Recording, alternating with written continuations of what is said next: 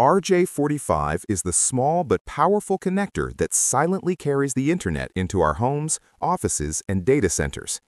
Every time a computer connects to a router using a LAN cable, every time a server talks to another server at lightning speed, RJ45 is doing the physical work behind the scenes. At its core, RJ45 is a standardized connector used for Ethernet networking, designed to terminate twisted pair cables so digital data can travel reliably over copper wires. It doesn't process data or decide anything, it simply provides a clean, consistent physical interface that lets devices communicate without confusion. What makes RJ45 so effective is its internal design.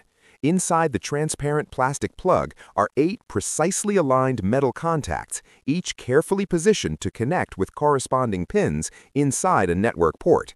These contacts connect to four twisted wire pairs inside the Ethernet cable.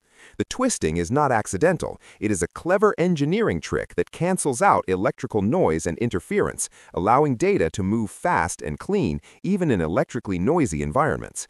This is why RJ45 cables can run through offices full of computers, power lines, and machinery without losing signal integrity. The name RJ45 often sounds mysterious, but its origin is surprisingly simple and practical. RJ stands for Registered Jack, a naming system introduced by the U.S. telephone industry to standardize connectors and wiring interfaces. The number 45 refers to a specific registered jack specification within that system. Originally, registered jacks were created for telephone networks, not computer networking.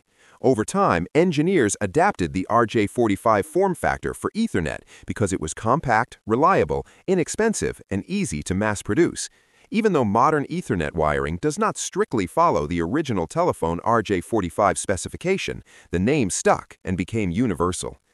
RJ45 connectors became globally dominant because they solved a massive problem, interoperability.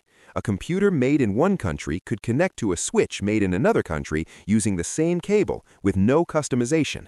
As Ethernet evolved from slow office networks to high-speed gigabit and multi-gigabit systems, the RJ45 connector scaled with it.